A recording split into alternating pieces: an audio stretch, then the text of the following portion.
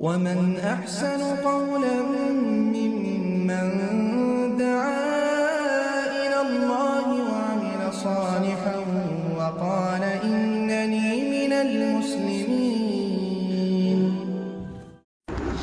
ওয়ালাইকুম আসসালাম রহমতুল্লাহ বরকাত আমাদের এক ভাইয়ের প্রশ্ন হচ্ছে যে কোন কোন জায়গায় গিয়ে করা যায়? আমরা প্রথমত জায়গাগুলো বলছি পরে দলিল বলছি। হ্যাঁ ছয়টা জায়গায় গিয়ে করা যায়। এক নম্বর হচ্ছে যদি কেউ কারোর উপর জুলুম করে যিনি মাজলুম হবেন তিনি জালেমের বিরুদ্ধে বিচারকের কাছে বিচার দায়ের করতে পারেন। তখন তো অবশ্যই গিবত করতে হবে তার বিরুদ্ধে বলতে হবে। হ্যাঁ, এটা শরীয়তে সুযোগ দেওয়া হয়েছে। দ্বিতীয় নম্বর হচ্ছে আপনি যদি কোনো অসৎ কাজ দেখেন এবং এটা পরিবর্তন প্রতিহত করতে চান সমাজ থেকে দূর করতে চান তাইলে যিনি দূর করে দিতে পারবেন তার কাছে গিয়ে নালিশ করতে হবে তার সহযোগিতা নিতে হবে। এই ক্ষেত্রে গিবোধ করা যায় যে ওই ব্যক্তির কাছে তার দোষ বলতে হবে যে অমুক ব্যক্তি এই কাজটা করে অসৎ কাজটা। তৃতীয় নম্বর যেটা সেটা হচ্ছে ফতুয়া নেওয়ার ক্ষেত্রে। কারোর কাছে মুফতি সাহেবের কাছে ফতুয়া নিতে গেলেন তখন তো যার ব্যাপারে ফতুয়া নেবেন হ্যাঁ, তার ব্যাপারে আপনাকে বলতে হবে। হ্যাঁ গিবোধ করতে হবে? যেমন বলতে হবে যে আমার বাবা আমার উপর জুলুম করছে। এখন হ্যাঁ, এটার ফয়সলা কি? আমার ভাই জুলুম করছে আমার স্বামী জুলুম করছে। এখান থেকে বেরিয়ে আসব কীভাবে? তাইলে এখানেও তো আপনার ওই যে গিবোধ করতে হবে। হ্যাঁ সেটা শরীয়তে জায়েজ চার নম্বর হচ্ছে মুসলমানদেরকে আপনার কারোর অনিষ্টতা থেকে রক্ষা করার জন্য এবং তাকে উপদেশ দেওয়ার জন্য আপনার সতর্ক করার উদ্দেশ্যে গিবোধ করা যায় এটা অনেক ধরনের হতে পারে। যে কারোর অকল্যাণ থেকে মুসলমানদেরকে সতর্ক করা সেটা হচ্ছে উদ্দেশ্য। যেমন তার মধ্যে একটা হচ্ছে হ্যাঁ, আপনার বিশেষ করে মহাদিসিনী কেরাম আগের যারা হাদিস বর্ণনা করতেন তাদের বিরুদ্ধে কথা বলতেন। যে অমুক অমুক মিথ্যুক অমুক ফাসেক অমুক বেদাতি হ্যাঁ এরকমভাবে বলতেন বর্ণাকারীদের বিরুদ্ধে মহাদিসিনী কেরাম যারা যারা তাদিলের কাজ করেন তারা। হ্যাঁ, এই যে বদনামটা তারা করেছেন গিবত করেছেন এটা শরীয়তে জায়েজ কারণ যেন তাদের কাছ থেকে কেউ হাদিস গ্রহণ না করে। সেই জন্য তাদের বিরুদ্ধে বলেছেন, এখনও যারা ফিতনা ফাসাদ ছড়ায় নিজের কথার মাধ্যমে, তাদের ব্যাপারে যোগ্য আলেমরা বলতে হয় যে অমুক এই, অমুক সেই, তার থেকে যেন মানুষ সতর্ক হয়ে যায়। না, এটা শরীয়তে জায়েজ জাতিকে রক্ষা করার জন্য। হ্যাঁ তারপর আরেকটা, এটার ধরন বলতেছে মানে চার নম্বরটার কয়েক ধরন বলতেছি, যেন বোঝার জন্য। দ্বিতীয় আরেকটা ধরন আছে যে, একজনে আপনার কাছে আরেকজনের সাথে বৈবাহিক সম্পর্ক করবে। অথবা তার সাথে কোনো বিজনেস করবে, তার কাছে কোনো আমানত রাখবে, তার সাথে যে কোনো লেনদেন ইত্যাদি করবে, অথবা তার পাশে অবস্থান করার জন্য চাচ্ছে, তার প্রতিবেশী হওয়ার জন্য তখন আপনার কাছে পরামর্শ চাচ্ছে, সে যদি খারাপ হয় তাহলে সেই ক্ষেত্রে বলতে হবে না হলে ওই আরেক ব্যক্তি তার অনিষ্ট থেকে বাঁচতে পারবে না। এই জন্য এরকমভাবে হ্যাঁ যেমন একজন ছাত্রকে দেখতেছে যে একজন ছাত্র তার বেলেন সে যাচ্ছে একজন বেদাদির কাছে জ্ঞান নেওয়ার জন্য, একজন ফাসেকের কাছে জ্ঞান নেওয়ার জন্য তাহলে তার তাকে সেই ব্যাপারে সতর্ক করতে হবে। এরকম আরেকটা ধরন আছে যে কারোর যদি আপনার ক্ষমতা থাকে হ্যাঁ অন্যের উপর মানে একজনের দায়িত্বশীল, সে যদি দায়িত্ব অবহেলা করে, তাইলে যেই ব্যক্তি তাকে দায়িত্ব দিয়েছে উপরের লোকটা, তার কাছে গিয়ে তার বিরুদ্ধে বলতে পারে, যেন তাকে সরিয়ে দেয় জায়গা থেকে। কারণ সে মুসলমানের যারা তার অধীনস্থ আছে তাদের ক্ষতি করবে। এই জন্য এটা চার নম্বরের ব্যাখ্যা দিলাম এতক্ষণ। পাঁচ নম্বর যেখানে গিবত করা যায় সেটা হচ্ছে কেউ যদি প্রকাশ্য কোনো কাজ করে, প্রকাশ্য ফাঁসিকি কাজ করছে প্রকাশ্য কোনো বেদাতি কাজ করছে, তখন আপনি প্রকাশ্যে বলতে পারবেন। কারণ তার কাজ তো প্রকাশ্য। সুতরাং আপনি বলতে পারেন, এ ওই বেদাতটা করতেছে। হুম? ওই ফাঁসিকি কাজটা করতেছে? কিন্তু অন্যটা বলতে পারবেন না। যেটা, যে প্রকাশ্যে যে দোষটা করতেছে, ওটার ব্যাপারে তাকে আপনি বলতে পারবেন। সেটা গিবতের আওতাধীন হবে না। ছয় নম্বর হচ্ছে, পরিচয় দেওয়ার ক্ষেত্রে যদি এমন কোনো একজন দোষ নিয়ে পরিচিতি লাভ করছে, সমাজের মধ্যে কেউ ছিলেন না, যদি তার নামে তাকে পরিচয় দিতে চান, তার ওই যে দোষ নিয়ে পরিচিতি লাভ করছে, সে দোষ না বলা পর্যন্ত, তাইলে আপনি বলতে পারেন যে কাউকে যদি অন্ধ নামে পরিচিতি লাভ করে, অন্ধ হওয়ার কারণে অথবা ল্যাংড়া হওয়ার কারণে তারপরে এরকমভাবে কি বলে যে, বধির হওয়ার কারণে হ্যাঁ অন্যান্য আপনার ব্যাপারে এরকম দোষ অনেক আছে। হ্যাঁ আমার দেশে ওই যে কানাও বলে, কানা হিসেবে যদি প্রসিদ্ধি পায় হ্যাঁ তো এই জাতীয় যেগুলা মানে দেখা যায় যে মানুষ এইভাবে প্রসিদ্ধি পেয়ে গেছে। একজনের কানা বললেই চিনে, যে অমুক কানা হ্যাঁ কিন্তু তার নাম বললে কেউ চেনে না।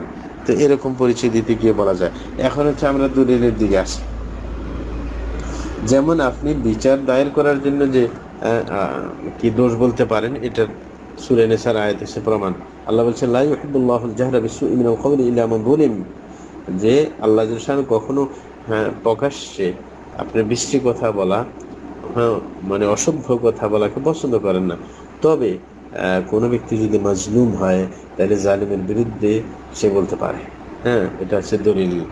এরকম ভাবে আপনার পরিচয় দিয়ে দেওয়ার ক্ষেত্রে আপনার কারোর দোষটা বললে অসুবিধা নেই। যেমন ওই যে রসুল ইসলাম যখন সালাতের মধ্যে ভুল করেছেন, আর একজন সাহাবি যার নাম জুলিয়ে দেইন হুম মানে যার নাম অন্যটা, কিন্তু প্রসিদ্ধি পেয়েছে জুলিয়ে দেইন তখন ওই যে সাহাবি যখন বর্ণনা দিতে গেছেন, তখন জুলিয়ে দেইন কি? শব্দ বলেছেন। হাদিসের শব্দ হচ্ছে ফাকাম রাজুলুন ইউকালু লাহু যুলিয়াদাইন তখন একজন ব্যক্তি দাঁড়িয়ে গেল, রসুল ভুল করার পরে সালাতের মধ্যে সালাম ফিরিয়ে ফেলছে, দুই রাকাত পড়ে তখন এক ব্যক্তি দাঁড়িয়ে গেল, ওই সাহাবি পরিচয় দিচ্ছেন যার নাম হচ্ছে, যাকে ডাকা হয় জুলিয়া দাইন বলে। দুই হাতওয়ালা, লম্বা হাত ছিল এই জন্য। তাহলে এই যে, এটাও একটা দোষ মানে কিন্তু পরিচয় দিতে গিয়ে এটা বলছেন, কারণ চিনে না। সবাই এই নামেই চিনে। এরকম ভাবে রসুল ইসলাম মানে আরেকটা প্রমাণ, যে কারোর দোষ জাতীয় স্বার্থে বলা যায়, হুম, আরেকজনকে সত- সতর্ক করার জন্য বলা যায় সেটার প্রমাণ। যেমন রসুল ইসলাম হজরত ফাতেমা বিনত কাইস রাদিয়াল্লাহু তাআলা আনহা যখন রসুলের কাছে বিবাহ সংক্রান্ত পরামর্শ নিতে আসছেন কয়েকজনের ব্যাপারে, কার সাথে বিয়ে বসবেন, তখন আপনার রসুল ইসলাম বললেন হজরত মহাবিয়া সম্পর্কে আম্মা মুআবিয়াতু ফাসআলুকুল্লা মালালা বলে যে মহাবিয়ার কাছে বিয়ে বসো না কারণ সে হচ্ছে একবারে ফকির টাইপের তার কোনো সম্মান সম্পদ নাই হ্যাঁ ও আম্মা আবু জাহমিন ফালায়াদ আওয়াসাহু আন আতিকে বলছে আবু জাহমের কাছেও বিয়ে বসবে না কারণ সে লাঠিটা নিজের কাঁধের থেকে রাখে না মানে বউকে মারে বেশি তাহলে এই যে দোষ বলে দিলেন এটা ওই ফাতেমা রাদিয়াল্লাহুকে রক্ষা করার জন্য এই জন্য তার দোষটা বলে দিলেন এরকমভাবে একজন যদি প্রকাশ্যে কোনো খারাপ কাজ করে হ্যাঁ যে তার, সেটা বলা যাবে যে এটার প্রমাণ যে বুখারীর হাদিস, যে মা আদুন্নু ফুলানান ওয়া ফুলানান ইয়ারিফানি মিন দীনিনা শাইআ। রাসূল ইসলাম হ্যাঁ কয়েকজন সম্পর্কে বললেন যে আমার ধারণা যে অমুক অমুক ব্যক্তি আমাদের ধর্ম সম্পর্কে কিছুই জানে না, বুখারীর হাদিস। তাহলে ওই যে প্রকাশ্য খারাপ কাজ করতেছে, সবাই চিনে। এই কারণে ওদের ব্যাপারে বলছেন যে এই রকম, এরকম ব্যক্তি। ধর্ম সম্পর্কে কিছুই জানে না।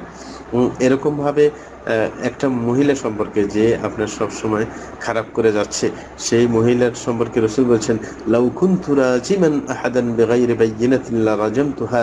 যদি আমি কাউকে পাথর মেরে হত্যা করতাম প্রমাণ ছাড়া হ্যাঁ যদি এটা করা আম- অভ্যাস থাকতো তাইলে এই মহিলাটাকে আমি পাথর মেরে হত্যা করতাম। মানে রসুল নিশ্চিত যে সে খারাপ করে, কিন্তু প্রমাণ পাওয়া যাচ্ছে না। এই কারণে করছেন না। কিন্তু এই যে এটাও তো ইঙ্গিতপূর্ণ, সে যে খারাপ প্রকাশ করে দিলেন। হুম তাইলে এটা, মানুষ হ্যাঁ তাইলে এগুলো প্রকাশ্য সে খারাপ কাজ করে এই জন্য। আরেকটা হচ্ছে ফতুয়া নেওয়ার ক্ষেত্রে যে আপনার বিশেষ করে গিবত করা যায়, সেটার প্রমাণ হচ্ছে যে রসুল আকরম সাল্লাম বললেন, ইন্না আবা সুফিয়ানা রাজুলুন শাহিহ। যে আবু সুফিয়ানটা হচ্ছে একজন কৃপণ লোক হ্যাঁ তো এইভাবে যে বললেন, কারণ এটা হিন্দকে বললেন যে তার স্ত্রী যখন রসুলের কাছে আসছেন যে সে পয়সা করে ঠিক মতো দেয় না তাকে চলার, তখন তার সামনে বললেন যে, আবু সুফিয়ান, তো আমি জানি যে সে যে কৃপণ লোক হম, তো এরকম ভাবে না, এটা তো, এটা হিন্দ এসে বলছেন মানে ফতুয়া জিজ্ঞাসা করার ক্ষেত্রে। হিন্দ এসে বললেন যে, আবু সুফিয়ান মানে তার স্বামী সম্পর্কে যে আবু সুফিয়ান তো কৃপণ লোক। এই যে ফতুয়া নেওয়ার ক্ষেত্রে উনি বদনাম করলেন। আরেকটা হচ্ছে যে, আপনার কোনো অসৎ কাজকে প্রতিরোধ করার ক্ষেত্রে আপনার যে গিবত করা যায়, সেটার প্রমাণ জাইদ মানে আরকাম আনহু হাদিস, যে রসুল আকরম সাল্লামের সাথে তিনি সফরে বের হলেন। হুম সফরে বের হওয়ার পর আব্দুল্লাহ উবাই, সে তো মুনাফিকদের নেতা ছিল। সে বলল যে, লা তুনফিকু আলা মান ইনদা রাসূলিল্লাহ হাত্তা যে রাসূলের কাছে দ্বারা যারা থাকে, তাদেরকে পয়সা টয়সা দিও না, যেন ওরা রাসূলের কাছে আর না থাকে, দূরে সরে যায়। হ্যাঁ এবং সে বলছে, লাই